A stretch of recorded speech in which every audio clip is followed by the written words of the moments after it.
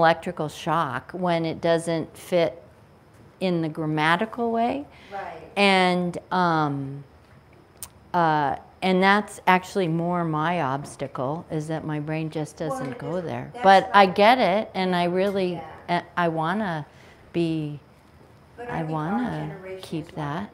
That's like, and I. Yeah, we're- it up 'cause we're I the worst. Biden State of the Union. I didn't pick it up when he said illegal, alien. I actually did, but not not terribly. You Um, know, I mean, I found myself going, huh? I wouldn't. That's a different generation, and he didn't mean anything bad. It's just that. Well, it's that's why we have to, you know, we have to monitor ourselves and we have to apologize do when we, yeah, know better, do better. That's and see, absolutely. that's something I have because I don't even think about it. I'm, I am also. Yeah, biases yeah. that you just- Yeah. We, know, you live, you live. Okay, welcome. We're we're here. We're uh, we are. Today's topic is um, the one block wonder. I did give uh, Confident Stitch the um, uh, deal, the outline. There's not a lot of information I wanted to put on here for one one reason. It's there's a ton on the on the internet for any of these techniques, and um, and I've written down a few things at the bottom for resources, um, but also because it's a sinkhole of attention. The one block wonder is like this magic wand that gets spun. And i could take pictures of fabric all day long and run it through the one block wonder app. And if you don't know what that is i, I we will go through that.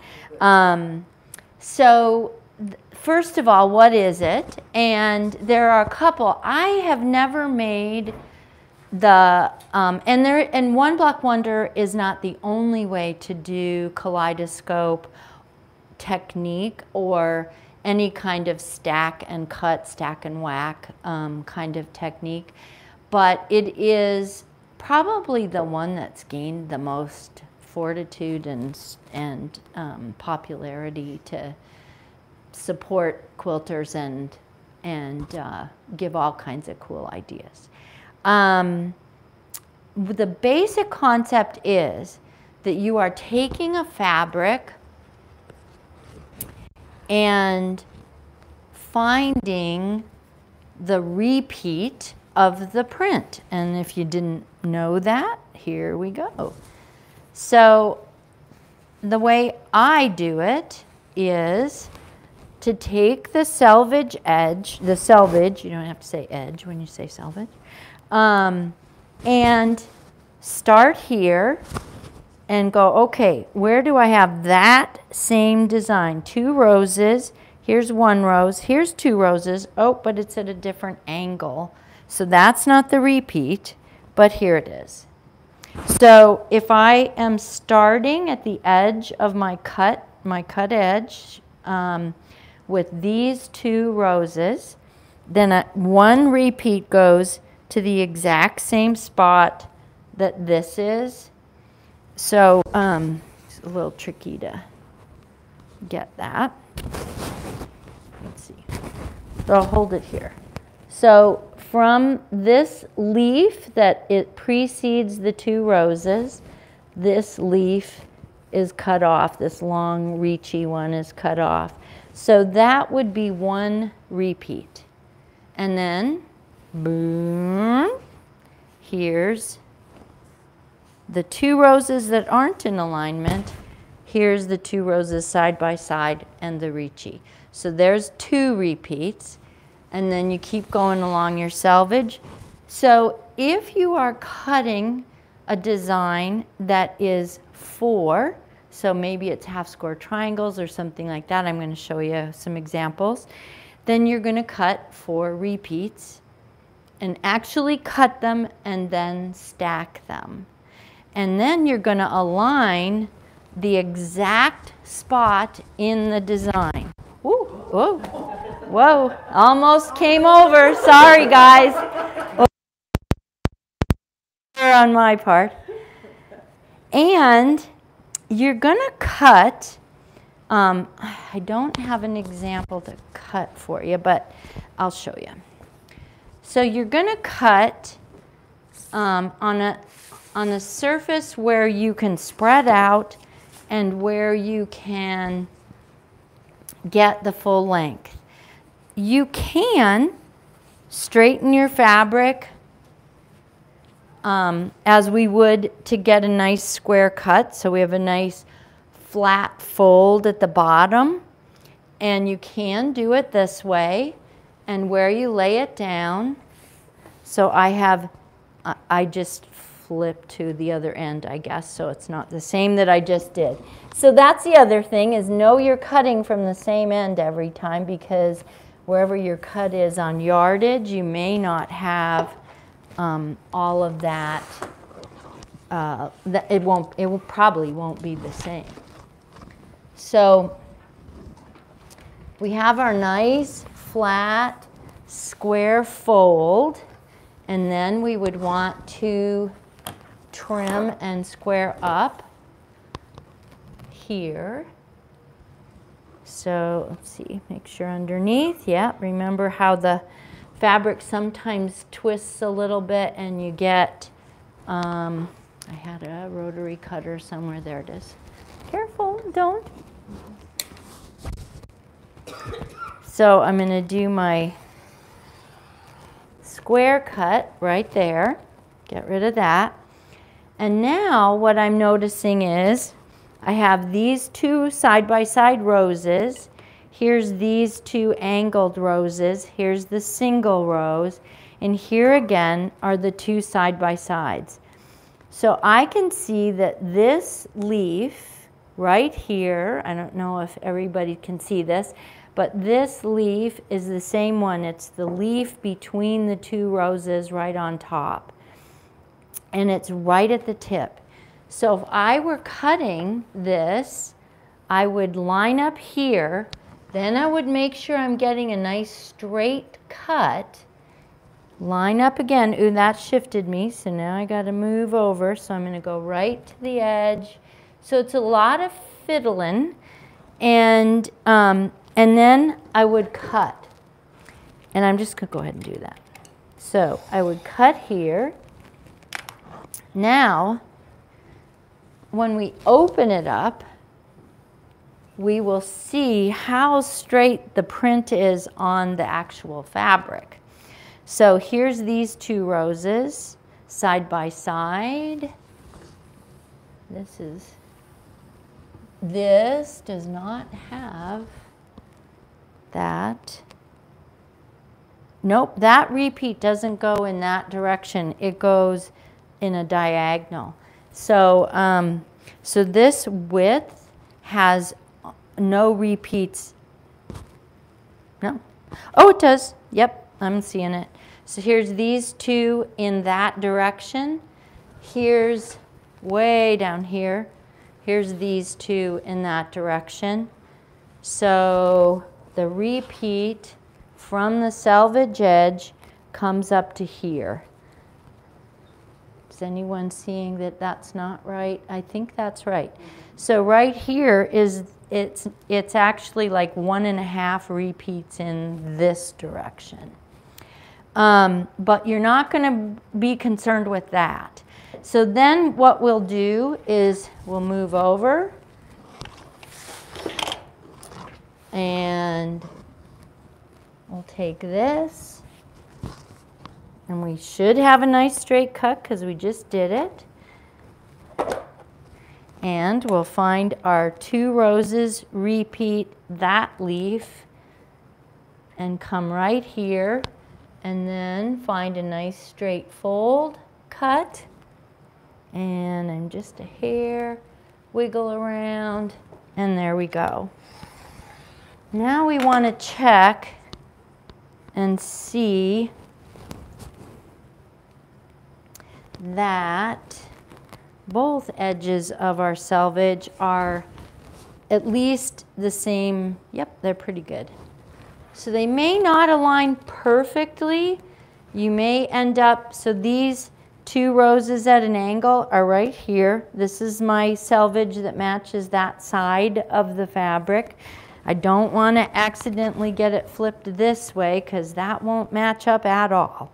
I won't be able to find anything that matches. So you always want to make sure you, if the selvage isn't different in the fabric, sometimes they look the same, so you're going to want to put a piece of tape or a pin or something on one side so that you're getting it lined up. Okay, after I've decided on what block I'm going to make, um, so I might want a block that goes with only four. And that would be, there's lots of patterns. Um, the book Stack and Whack made it really big in, I don't know, the 2000s or something. Um, and um, that was a fun one. So this pattern, this fabric has already been done what I just did. Things were lined up and we had a stack like this. I took my half square triangle ruler and cut that out either with a template or with a ruler, which I'll demonstrate in a sec. And now, why do you want to do this design? Because every time you repeat that design, you get a kaleidoscope pinwheely sort of thing going on. So when you put these pieces into the center, you're not necessarily matching, so we're not necessarily trying to match that seam with anything, but after you sew quarter inch seams, each piece, each little flower petal here is right on the cut edge, and so that should sew up in a way that keeps it rotating. And if you just kind of squint at that, you can see the image of how it comes out in, in the repeat. So the way these got cut were, um, it, the way is a was, was to um, take four repeats of this, of that fabric, obviously, not this fabric, and line them up and press them. This is kind of wrinkly, so I'm not, I'm not going to go ahead with this. But, and line them up here and actually get like a spot in your um, design. And if you've watched these videos, and for those of you who've been here before, you know I don't like to pin. And the reason... I know. Is that like not good or what? So when you pin, you do not want to stick it in and go like this because now you've bent the layers underneath. And so they may not line up right. So what you do is you stick your pins in straight. If you use a wool um, pressing uh, pad, it's really nice to do this on top of that. And you find one spot. So I'm going right into this dark spot that's between two petals of the rose and the dark area on the leaf. And I can find that exact spot and go there. And then I'm going to stick that down. If you don't have a pressing cloth, you can use a styrofoam piece of styrofoam board kind of thing that you cut. Um, you can just leave it right like that. And that's fine too if you don't have any um, thick, dense stuff that you can poke into. But so now you have it that way. Then, see these aren't all lined up and you will find that as you take another pin and go down, and let's say I'm gonna go at the tip of this bright leaf, then, oh, that came in a totally different spot. So you have to, you have to move and you have to get it. And I push those pins in so the heads hold it all together. And I think in the One Block Wonder book and videos, they recommend that. And after you've gotten a number of, you just pick a spot. It's not like there's a magic place to do it. So I'm going to go right here. You lift. Nope, that didn't line up. And you do this. It does line up, so when I say, oh, that didn't line up, don't, don't worry that, you know, there's something wrong. It's just that the fabric has fluffed in a weird way.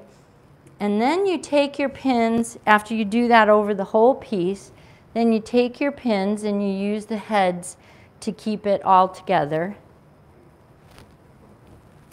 And you set it down and kind of have them go sideways. But this is, this is the advantage of sticking it into a, a wool pad or a, a styrofoam is that you don't have to do that sideways thing. And even that little bit of sideways, it pulls it off just a hair. So the better you can line that up, the better it'll be for cutting. Nowadays, and I've used the glue stick in this class before, you can also use, oh, yep, I have it. Nope, that's not it. Looks similar. I think I have it at home because I was using it. You can use a glue stick and you can um, you know, carefully peel back and, and stick right near where your pin is, and then that'll hold it for a while you cut. Um, anywhere you use glue, eventually it can gunk up your needle or your cutting blades, but um, probably not enough to worry about because um, we're just doing a dab across the different layers.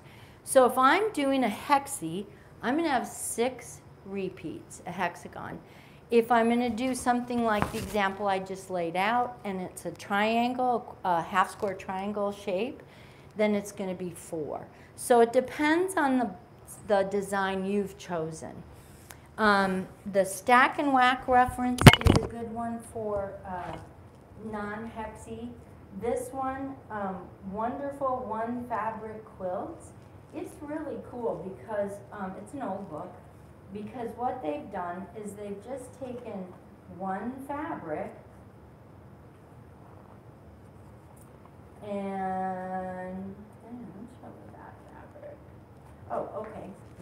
So this one, this striped, and usually they're striped, the striped pattern, and then they've cut their blocks from that pattern.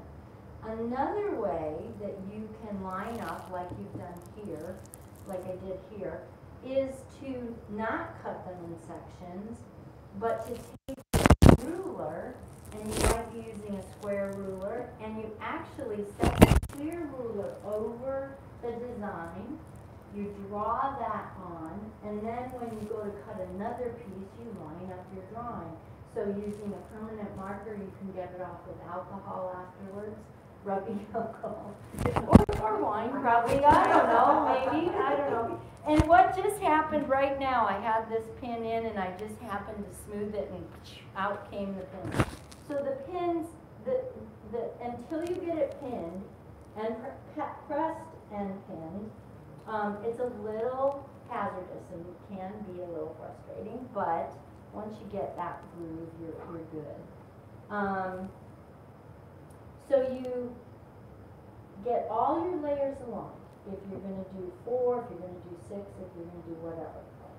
The one block wonder design that uses a panel, and I'll show you some pictures of that.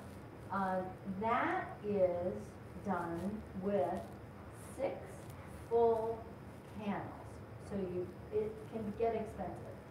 So you're purchasing six complete panels you're lining them up, and if anyone's worked with panels, you know that they aren't always printed in a terribly square and even way, and so sometimes that's quite tricky. So you, you want to pin and line up and maybe glue um, afterwards uh, a lot. Then, go ahead. Is your mic?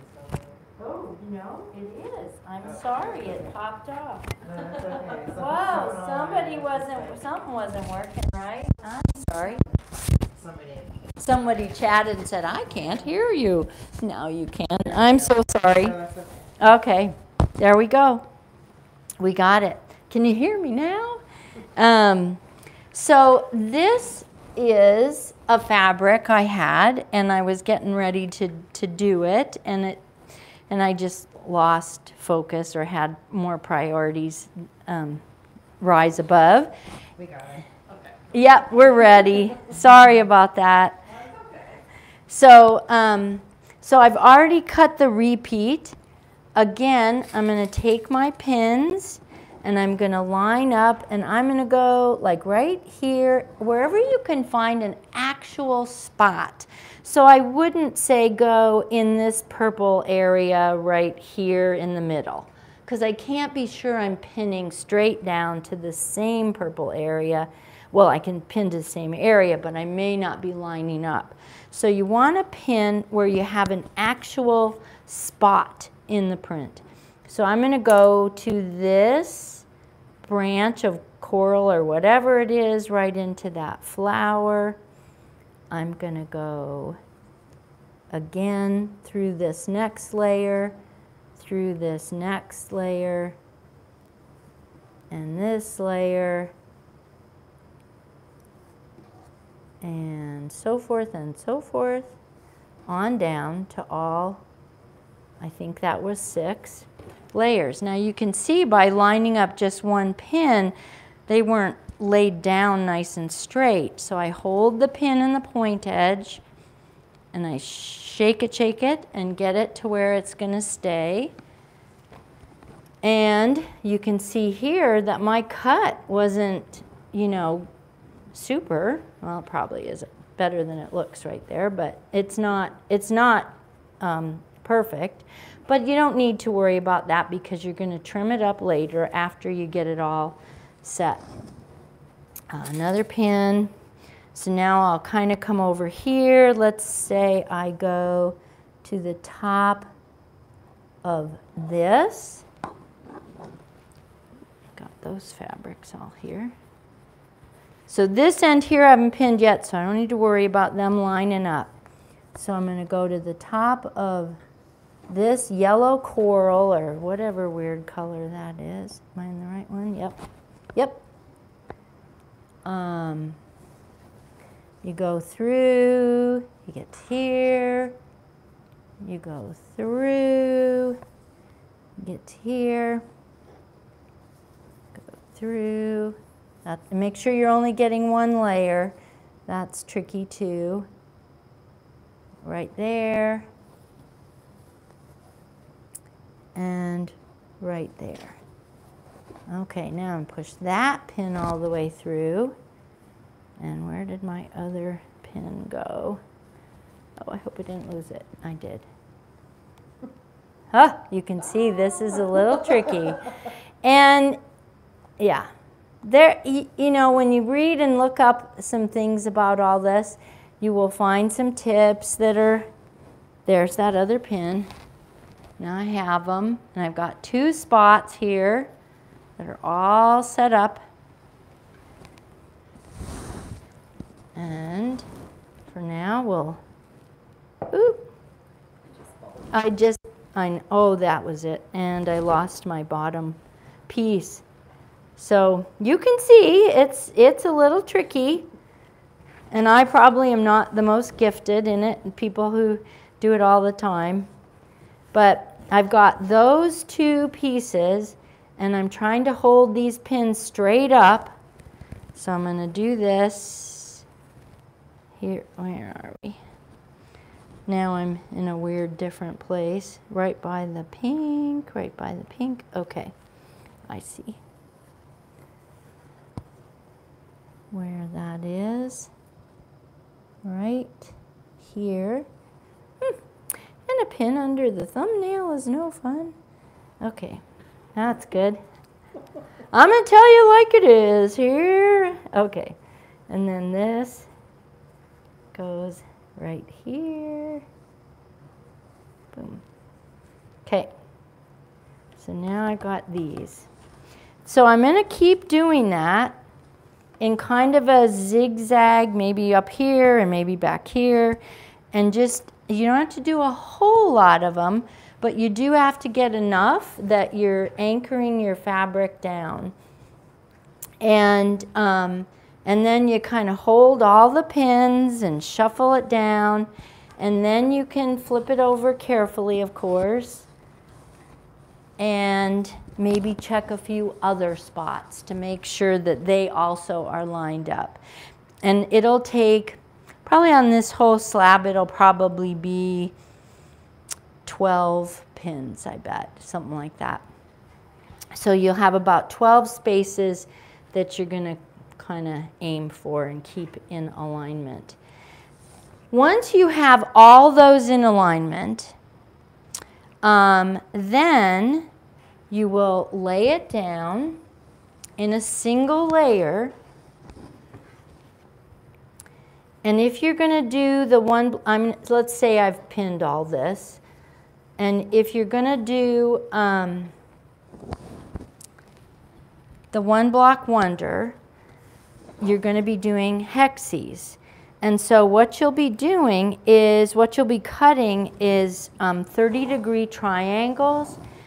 And so you need to decide how big you're going to do it.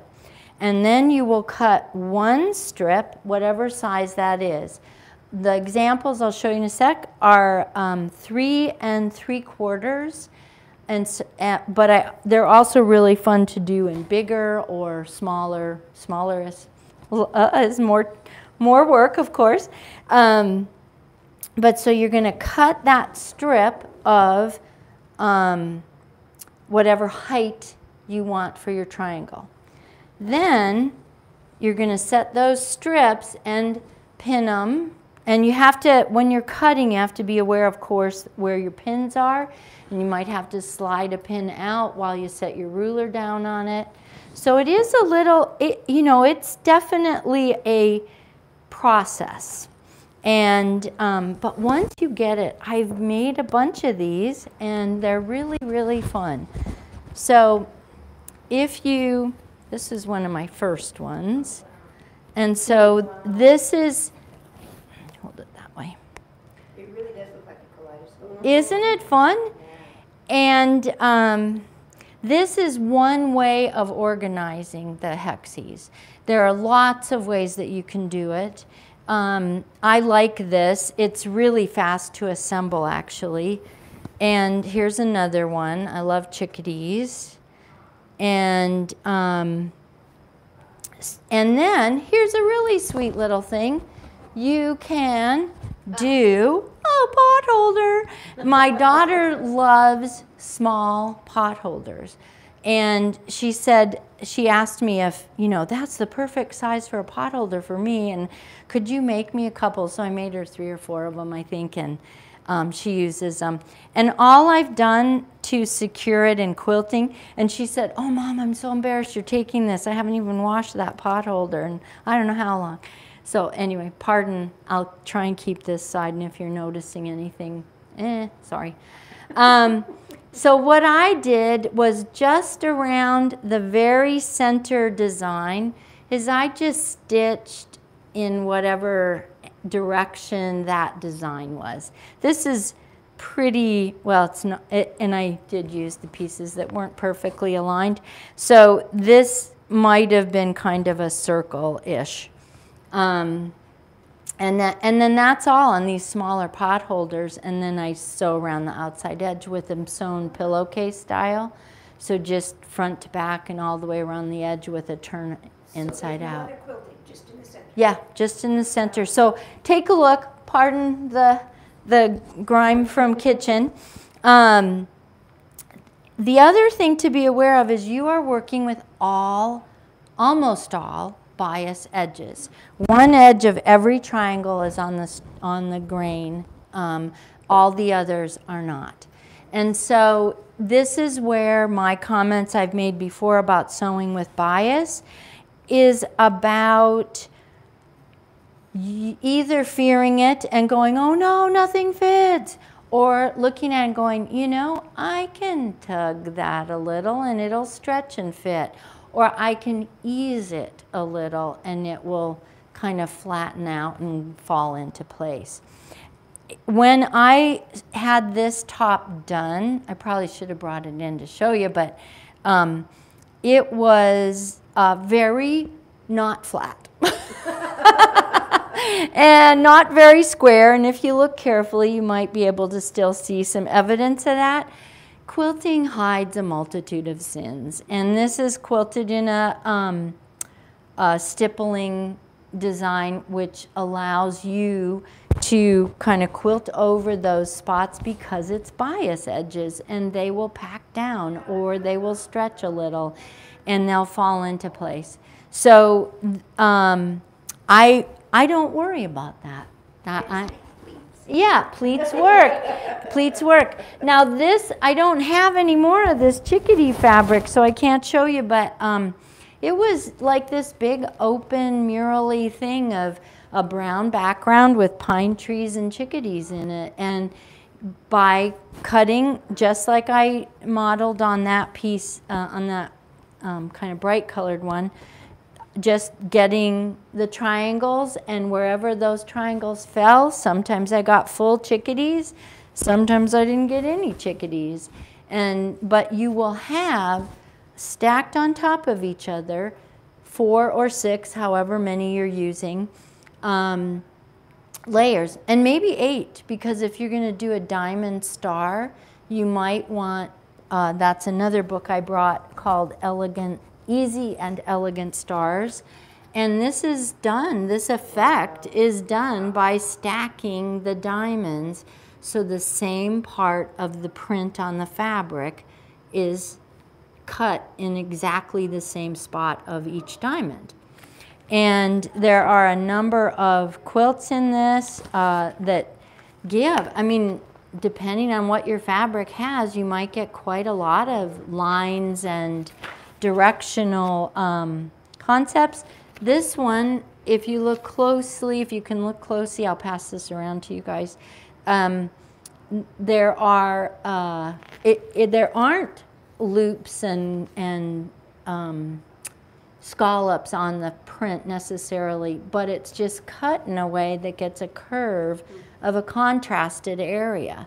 So the contrast in the design is what gives that that image. Um, here's a fun one. And then how to use that same fabric in borders and other aspects of the quilt, the corners. Uh, in smaller versions, these are all smaller eight point stars at the top and bottom here. So those, so this, this is a fun book um, if you like that kind of stack and whack thing. Um, the other thing, we have a quilt right here in our room that's a Kaffe Fassett stripe, right? Yeah. Yeah. And, um, and the, that has been cut so that the stripe looks like strips of fabric, but it's not. And so that can be cut in a way where the exact same triangle is mixing in fours and you get a complete box um, diagonal box uh, to connect with each piece. And so you can see here the um, this triangle, while it matches kinda in here, it really doesn't. You have a tan lining up with a green and a yellow lining up with a turquoise. And when you get to the outer section, oh, that's even another piece of fabric. Um, so if it were the same piece of fabric maybe, it may not line up quite the same in some areas if you're not trying to do that. But if you line up your repeat and you cut your triangles on in that repetition, you will get them so they do actually um, connect in the exact same uh, design. So it's all about how you do that. And this is an example of that. So, I didn't pull off, okay. Um, so this one is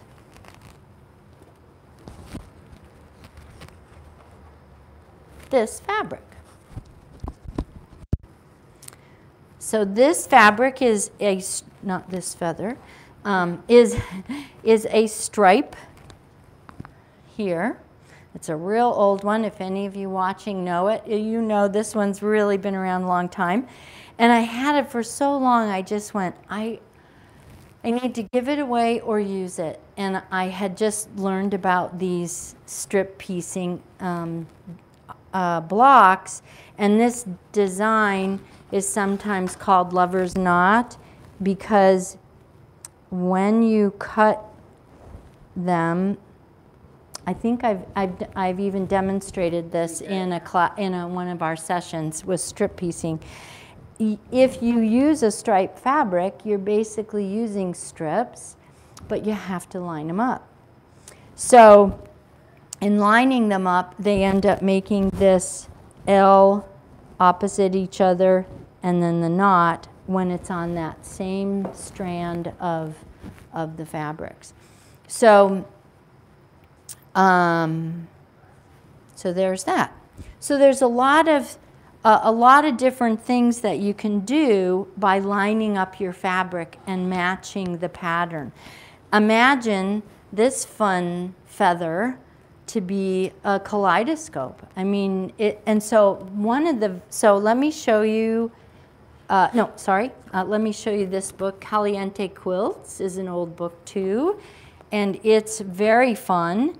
It has a lot of use of strips, not matching, but you can, I just wanted to show how that ends up having just by using stripes and connecting them, you get that same kaleidoscope. So there's a lot of ways to get that kaleidoscope effect without quite as much work as all this.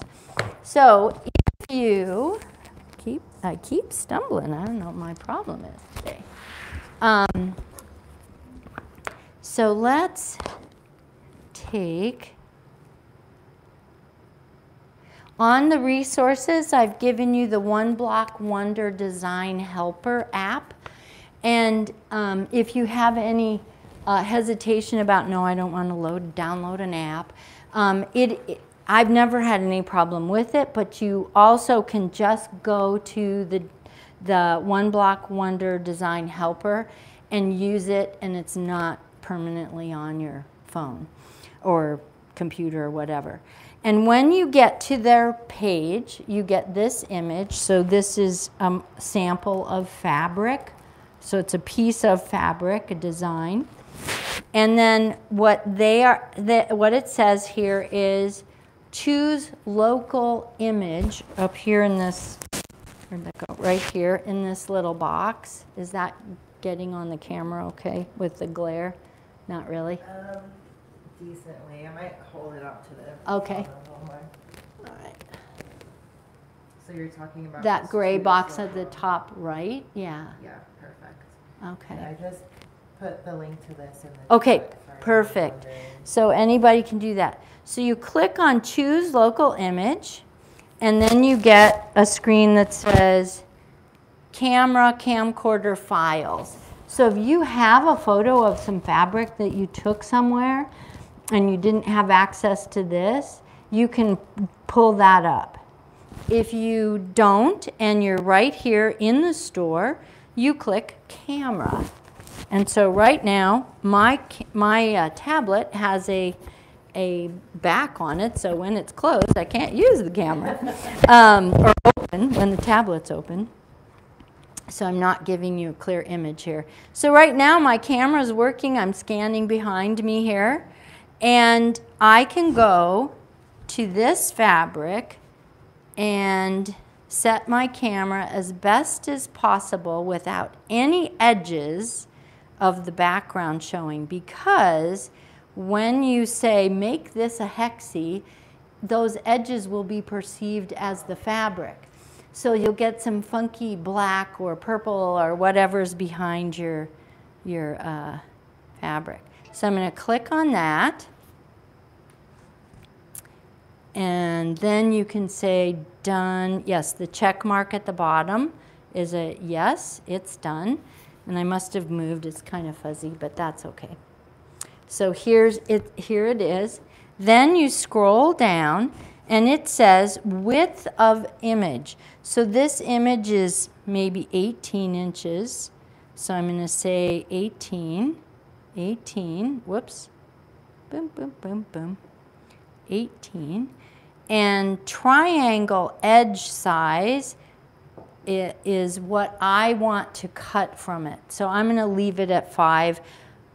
I, may have, I don't have anything in mind right now. Left offset pixels, top offset pixels, it means where you want to cut it off. And then you push make hexes. And then what you get is a, a picture of your fabric with the hexes marked as you would cut. So, you, so this is the step would be after you've cut the repeat of the fabric six times, stacked them, pinned them, gotten them all lined up, then you would cut a row off and make your triangles. Flip, flop, flip, flop. Okay, I'll demonstrate that in a sec. And um, so it shows you those lines of those triangles. Then you go down and guess what you see? You see these cool hexes that come out of it. And I'm telling you, you can do this for hours. I, I have taken, I think, pictures of almost all my fabric, you know? And it, yes, and so while their lines of their triangles may not perfectly align with what you're going to actually cut on yours, it does give you the sense of how the black background incorporates. It does give you sometimes you're cutting, where was that one? Sometimes you're cutting truly right where the feather is, this yellow one here. Mm -hmm. Oh, right. Um, and sometimes, here, I'll blow it up. There we go.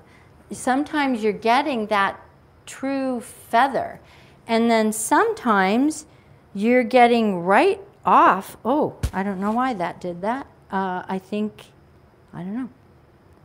Anyway, sometimes you're getting just little snips of feathers, and so your background is most of your hexie. And so, um, so when you do that, you get the possibilities. And, um, and it, it tries to incorporate then all of the triangles that the, the program just outlined on the fabric. So, um, so you take your picture of your fabric. Now, I brought some fun ones in from uh, Confident Stitch. This was on their sale rack. And so, and what I do is I set it on top of the, I set it on top of the, the rows of fabric bolts. So now I go back to my image and I choose local image camera. And now I'm ready to do another one. And I'm going to come here and I'm going to come in so I have no background. Whoop, I have background there. There we go. And check. Yes. So now I have my fabric. I scroll up and I fit, fill in. This is actually 22 inches. Whoops, keep doing that wrong. 22 inches the width of the image. And I'm just going to leave everything else the way it is.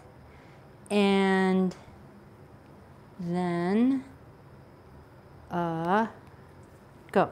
Yeah, the little arrow that says go. And then one block wonder. Nope, sorry. Ah, I got goofed up. All right, let's try this again. Sorry. Camera. So we're going to come here. And right here, you can see that there's a light and a dark in the shadow of the light from above. If, if, when you take your picture, make sure you come down completely or that light and dark will also show up in your hexes. So, um, So there's there's a little there's a little bit of trick to it, not a whole lot, but okay, got a good picture. Say yes, check. And then go back, go up here. 22, yes. Okay, and then I go to here. Why isn't it? Oh, okay, make hexes. Sorry, I can't read. All right, now I have the cutout, and then I have the hexes. So the hexes from that fabric have a lot more uniform color because there's only basically three colors. There's the background turquoise, the red flowers, and the cream green mix. And so mostly what we're, that's the image we're going to get with some variation of, of the spots of those colors. makes it have to be there. Isn't it fun? Yeah. And um, so let's take a, oh, oh, oh, I wanted to try this. I can't wait to see what happens with this. This is, oh, oh, oh, oh, oh, oh, oh, oh.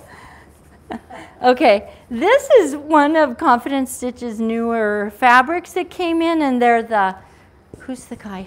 Har- um, Charlie Harper, thank you.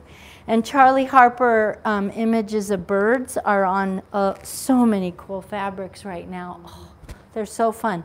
This is the coolest design. I love it because it's a skier who is somehow interfaced with Charlie Harper's bird. And so it kind of looks like ski poles, and I guess those are ski poles. Anyway, somehow all that went together. I don't know if that was his design or if it was a mix of two designs or what. But I'm not. I'm not uh, knowledgeable. I'm familiar with his work and love it, but I don't. Uh, I don't know it really well. So we'll go back to our deal and go back here. Come, oh, shoot, now I did it wrong. Okay, choose local image, camera. So once you got all that, you're good to go. And come out here to get, oh, what happened?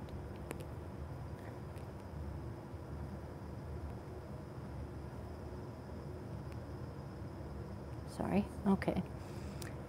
Um, okay, I want to get straight on here. Okay, so now I have this photo. I do a check, check. Yes. Now I go down. We have 20. And everything else I'm going to keep the same. Make hexes. And then it has the image of how those hexes are cut. I can't wait. Oh my gosh. oh my gosh. This is too fun. So I know, I know. And so where you have a lot of negative space in a print, those little pieces of design end up really creating the um, hexy pattern. And so, um, yeah, look at that one at the bottom here. Whoops, where'd it go? There it is. Can you see that one? Okay. I mean, it's just really fun. Uh, honestly, seeing that, I don't think I'd use that for the for a hexy um, one block wonder. Um, however, this I want to show you. This is a panel, and this is what happens with a panel. So again, think about you're doing. I have to unfold quite a bit here because I want the whole panel to. Well, if I don't do the whole panel, I don't do the whole panel. You'll you'll get the idea. So. See, you're gonna have all kinds of people coming and you're taking fabric off. oh, uh, when I came in, when I first learned about all this, oh my gosh, I'm like, set, yeah, I'm setting, you know, this this kind of layout. I'm setting it up on the tops of the fabric bolts and snapping pictures, and oh my gosh, look at this one. so, um, so here we are. Boo, boo, boo. Okay, go back. Oh no, that's it go back. I mentioned to the people online, but you can also download the photos off of our website. like, Oh, it, yes, and it will it will let you do that. Yes. The one thing that I noticed because I've done that from a couple website is that I think it might be done intentionally, but um, a lot of uh, sources of fabric, when you see the actual picture of the fabric, it's fluffed a bit, and so you have these wrinkles of shadow and light.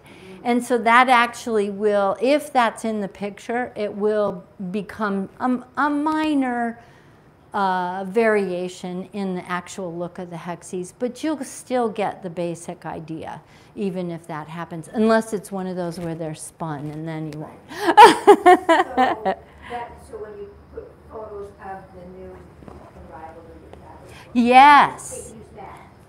Yeah. Yes, Uh, we exactly. Right, right. Believe me, Okay, so I'm going to come in here. I'm going to take that picture. I'll show you what I ended up. It's just half of the panel. So it's, well, it's flipping left and right here. Okay, we're done. We got it. I got it. I didn't, I got a blurry one. Okay. 20. Go, go, go. Make hexes. Okay. So now I've got the hexes are done that way. And look at this. Oh. I know. Oh, So then look and see what you've got. So the panel concept is has really hit a lot of people with a passion. And like I said, it can get expensive. You're purchasing six panels in order to do this. And actually, you might be purchasing seven or eight because if you want to do a large quilt and you have all these hexes from the six panels, then you have one or two left over, panels left over that you use for borders. But if you look up One Block Wonder on Pinterest or just online search, you will find a huge selection of possibilities of how they've been used to even fill in, keeping the panel in its hole, and, and then the hexes fill in one section of it or something. You know, it's just it, the artistic aspect of it is too much fun. So, um, so I, I'm I'm having trouble even stopping because I I love doing that. It's just so much fun to see and go, God, no kidding. That's how that turns out. But um, oh, I do want to do this. I do want to do this one because I want you to see what happens when you have a pretty homogeneous design. So the colors here blend together a lot more. And um, let me do that. you just go out in front and you can just. Yeah, yeah, yeah. We'll just go through the whole store and do a hexy search. Now, I Okay. So when you go on and you look up, like, Oh, here. does it give you directions or it's just photos of the photos? You, when you go on Pinterest, you just search whatever you're looking for, and it just gives you, it gives you however someone posted it. Mostly, it's a picture of, but sometimes it's a link to instructions. Sometimes it's a a link to a blog that somebody has, and that picture is one of many things that they've put on their files. You can actually search my name, Suzanne Sterrett, and you'll see all the files I've saved, which oh. is too much for a lifetime to revisit. But um, anyway, so I'm going to grab my tablet and we'll take a picture again. Keep getting this lovely person. Okay so choose local image, camera, and take that picture. Now I, I just realized I didn't get down low enough, but I can't hold it very still when I do that. And so um, it's kind of blurry. But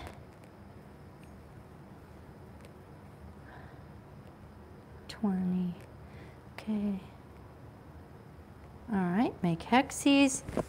So now I have hexes are cut, shows how that was done. And look at how much more distinct than the design and color flow is. Because when you look at that, there's very distinct patterns for sure, but it, it, it just becomes something different. So there we go. Um, so to, welcome to the joy of chaos. um, I, I brought a few fabrics just to open minds to how these work. Um, again, you don't have to do the hexes. You can do like the four half square triangles. But, oops, sorry, that's my, we don't have much time alarm. All right. Um,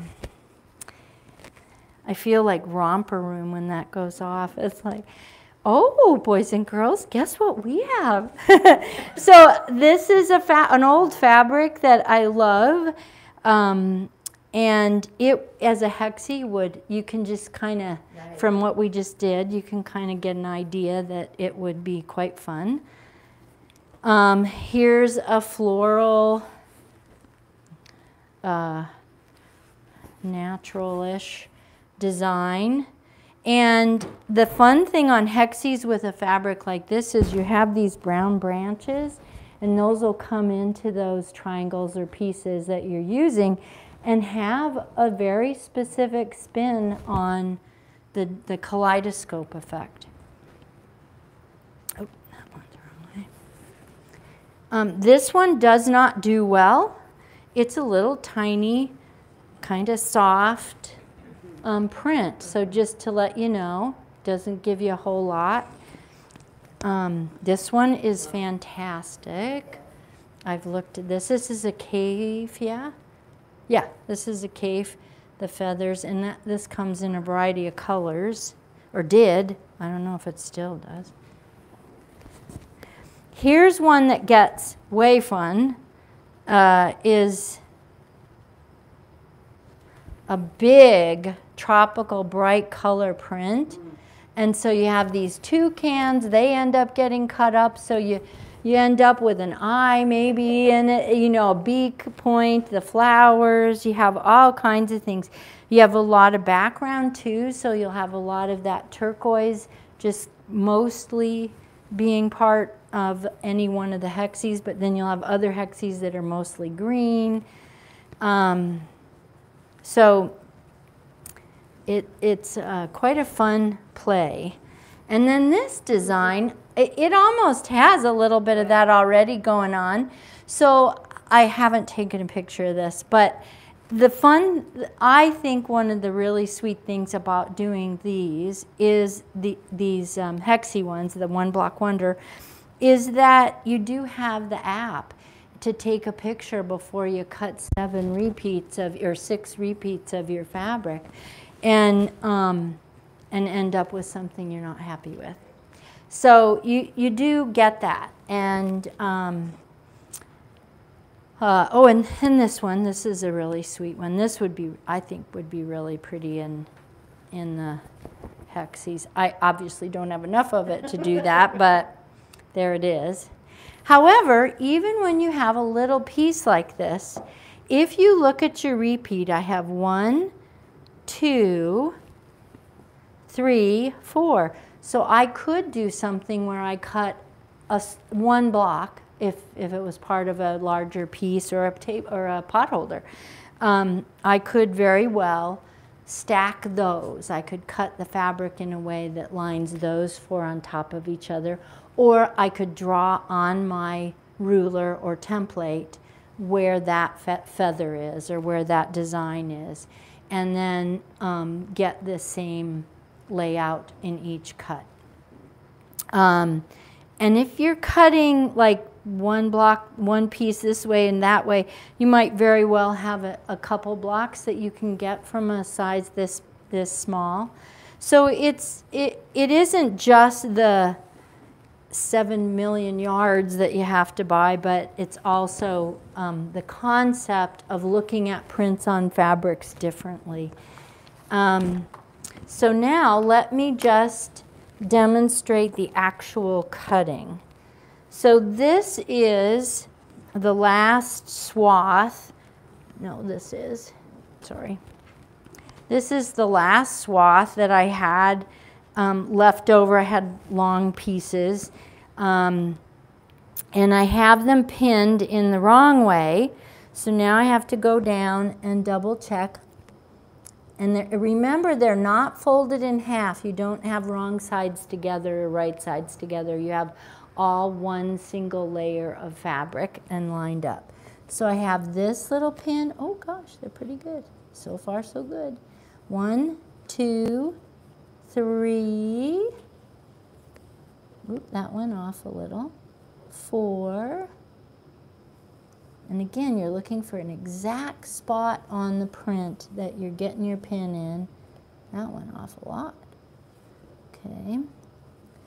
Five, six, seven, and eight.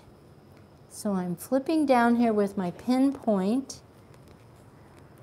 pulling that, and then I'm going to want to do the same thing. And this size, about three pins would be great.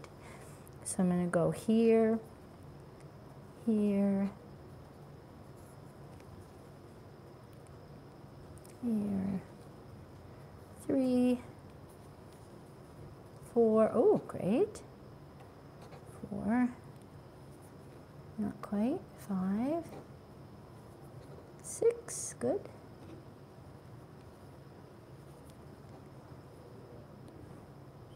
Seven, and eight. So there's that one. And then we'll come down here, and we'll go here. This.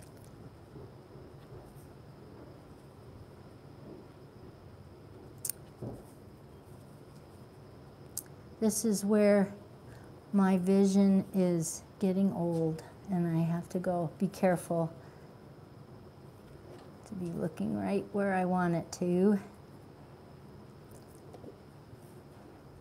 I was commenting with some folks in a, another class about how sewing is like the worst COVID friendly teaching thing because you lick your fingers, you, you have all this spit involved. Um, okay, so I'm pulling on these pins. This is a nice small example to use. And then um, I'm going to put them over here. And I'm going to go ahead. I've got to turn them so I can do what I need to do. And you want to be sure you're using good straight pins. That's another little tip. Um, I have a tendency to be hard on my equipment and my pins aren't necessarily all that straight. That pin just fell out, but I'm putting pressure on the spot where it came out. Here's this, and I'm going to put pressure there and there. And once I have it all set, then I'm going to take my ruler. And if you look at your ruler, I'll put this behind my, co my coat behind it. I have a 45 45. They come together where the mark is. I have a 60 and a 60 and a 30 and a 30. So for cutting, you're not measuring the inside angle of a triangle, you're measuring the outside angle where the edge of the fabric is and one line. So you use the 60 degree line. 60 degree line. So I have, I'm going to put my 60 degree line on my edge of the fabric, slide it down to where nothing is too short. So here's my 60 degree line on the edge of the fabric and I have my rotary cutter and I cut through sharp blades only because you're cutting through six layers, all right? Then I flip it around and I use my 60 degree line without a, ah, okay, here's, here's a little weird thing. So rulers have, you don't want to be pulling and tugging much, you want to be super gentle and easy. So rulers have a a way that these number these lines come into the corner and they aren't at the corner always.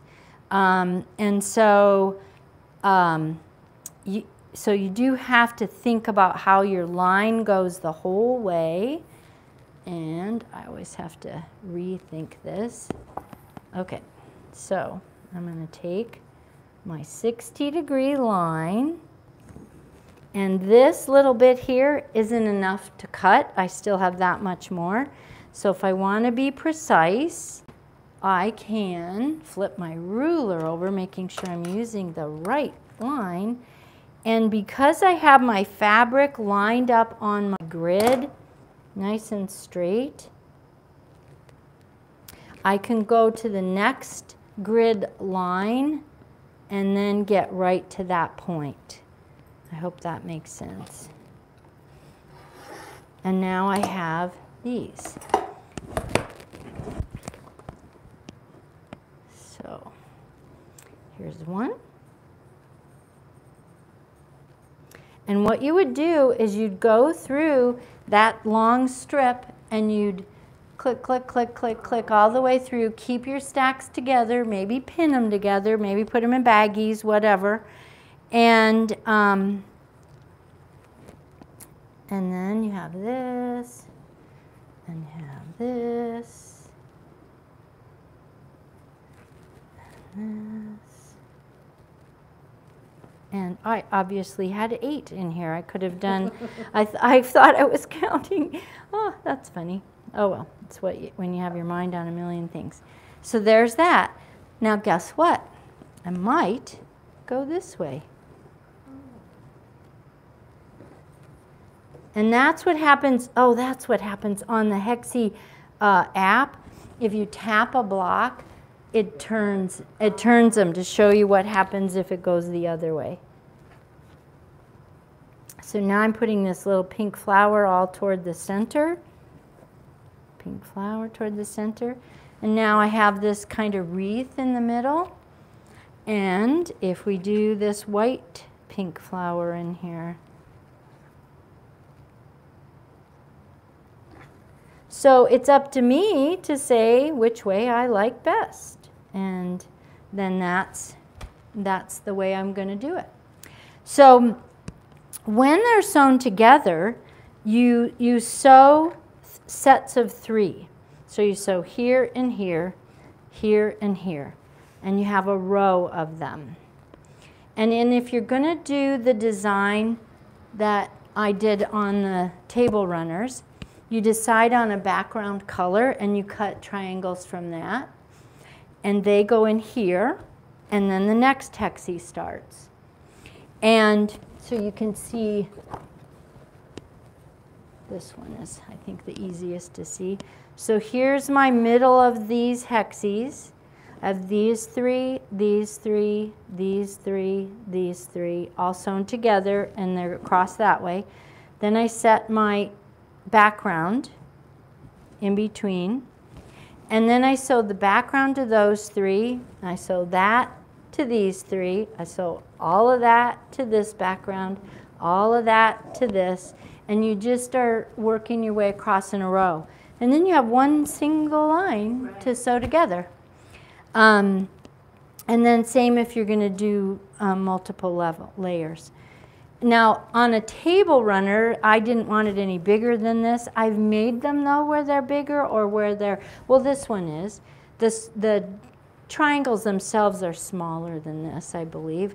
And, um, uh, and so I actually have one row, another row, and another row of full hexes. So there's six rows. One, two, three, four, five, six that are assembled. But you assemble them in that row fashion. And so they go together pretty slick. And um, on, on the assembly of the hexes fitting together and not having background, they're assembled like hexes. So you just you just fit them into each other, and um, so that's kind of how it goes. I think. Are there any questions online? Are there any comments, ideas? This is it, it's such a fun. Um, creative and kind of magical sort of process. I, and I really like that the table runners are one of the easiest things to do. So you can really play with this with a smaller piece of fabric. You can really play with this with um, an outcome that doesn't take you forever. Uh, I have a group of women friends that are, uh, you know, we, we kind of identify with chickadees. And um, having cut enough for probably a lap size quilt, I made all five of us table runners. So, you know, that was, it was really easy to whip those out and have them done. So, um, anybody online have questions, comments? Okay. Well, I think that wraps me up. I don't, I don't think I have anything else to share. And I forget, do you remember what our topic next month is? Let me look it up real quick. I can, oh, I might have it in my phone if you don't have it. What's this up here? Um, stack and shuffle. Oh, well, heck. See, now this is the second time I've actually thought those really go together, and I've kind of condensed. So I, uh, we might, oh, no, no, no, no, sorry. That's a different.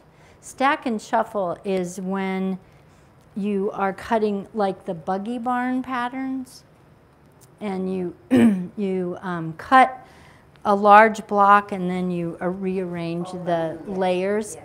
Yeah, that's a little different. Sorry, I had that in my head wrong. So excited. That's a fun one. I have a few samples to share with you too. So stay tuned and come back and look forward to seeing everybody. Now, this was so much, so we can just go, do, how do we